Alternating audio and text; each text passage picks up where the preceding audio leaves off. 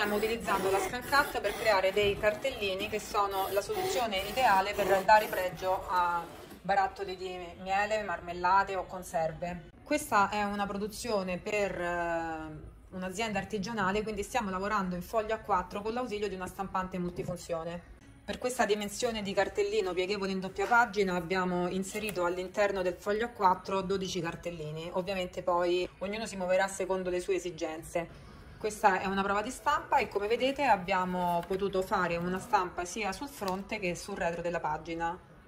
Quindi oggi faremo un tutorial per vedere passo passo come portare avanti una produzione velocizzata di cartellini. Siamo partiti in Adobe Illustrator dalla creazione della fustella con, utilizzando rettangoli, linee e tondi, tutti con colore eh, di riempimento nullo e traccia nera di un punto, all'interno della quale abbiamo progettato la grafica, eccola qua. Dopodiché abbiamo sistemato eh, le varie grafiche per riempire il foglio. Poi ho selezionato ognuno di questi tracciati e semplicemente con modifica copia in un altro documento incolla abbiamo eh, creato un nuovo file che riguarda esclusivamente il taglio che abbiamo salvato, file salva con nome, in formato SVG perché questo è il formato che è compatibile con la Brother Scan Cut nella preparazione del foglio di stampa è l'inserimento di questi crocini di registro eh, sistemati in punti strategici per poi all'interno del Canvas Workspace eh, riposizionare i tracciati di taglio sulle stampe. Quindi abbiamo messo questi quadratini neri al termine, diciamo, eh, delle schiere di cartellini. Ovviamente per stampare questa pagina tutti i tracciati di taglio devono essere nascosti. Oggetto, nascondi, selezione. Per quanto riguarda il retro, eh, c'è un motivo di fondo, ma se vediamo questi cartellini hanno orientamento diverso perché questa L di cartellini hanno l'orientamento in orizzontale e quest'altra schiera invece ha un orientamento verticale. Quindi ehm, il retro praticamente in modo speculare abbiamo dovuto ricavare questo riquadro di trama diversamente orientato. Passiamo all'importazione del taglio, il tappetino di taglio è 30-30, però ovviamente avendo avuto noi la necessità di stampa ci siamo fermati sul formato A4. Andiamo eh, a mettere dentro il materiale.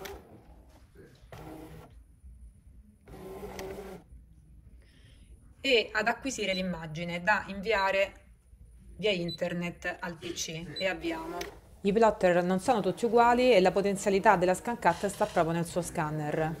Fotografando le stampe sul tappetino riusciremo a posizionare perfettamente i tagli. All'interno del Canvas Workspace andiamo ad importare il file SVG. Come vediamo tutti quelli che erano rettangoli vuoti invece il canvas li vede come pieni. Non devo fare altro che selezionare tutto, andare nelle impostazioni di colore, rimuovere il riempimento, mettere trasparente e mettere solo contorno nero. Ulteriore operazione da fare, visto che non c'è distinzione fra eh, linee di taglio e linee di cordonatura, che sono queste che passano nel centro, vado direttamente sui livelli, seleziono tenendo premuto il tasto CTRL e facendo clic con il mouse le linee di cordonatura mi sembrano selezionate tutte, ritorno sempre sul pennello e gli dico linea tratteggiata controlliamo di non aver escluso nulla. A questo punto seleziono tutto e raggruppo. Dopo aver effettuato eh, la scansione con lo scanner della Brother ScanCut, faccio eh, File, importa da macchina di taglio dati acquisiti. La prima cosa che devo fare è andare sul livello Disponi, manda indietro, e poi devo bloccare. Posso fare anche tutto dai livelli, queste operazioni. Eh, abbiamo la possibilità di visibile e non visibile, blocca sblocca e anche il trascinamento con il mouse. A questo punto, dopo che l'abbiamo bloccata, selezioniamo l'altro raggruppamento che è il file di taglio e con l'aiuto eh, dei crocini che ho stampato, tenendomi mezzo millimetro in accostamento, vado a posizionare perfettamente il taglio sulla stampa. A questo punto faccio l'esportazione verso la macchina.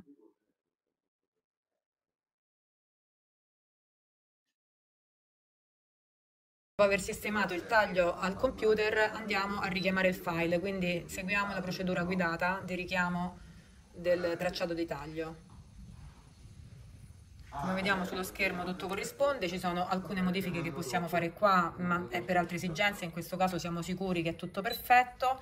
Andiamo a selezionare l'operazione di taglio, la macchina ha una lama con sensore di regolazione automatica, per cui se andiamo a vedere le impostazioni sono eh, tutte automatiche, eh, però ovviamente tutti i parametri sono modificabili dall'utente diamo l'ok, eh, non effettuiamo neanche una prova perché questo si fa quando non si conosce il materiale, noi stiamo utilizzando un cartoncino spesso ma già lo conosciamo e avviamo il processo di taglio.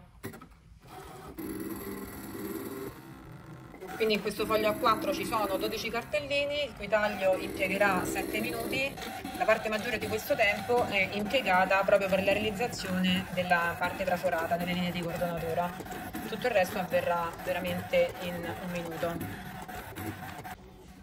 Con una stampante multifunzione e una scan cut riusciamo a realizzare quindi dei cartellini veramente professionali eh, con la massima precisione sulle misure e sulla stampa.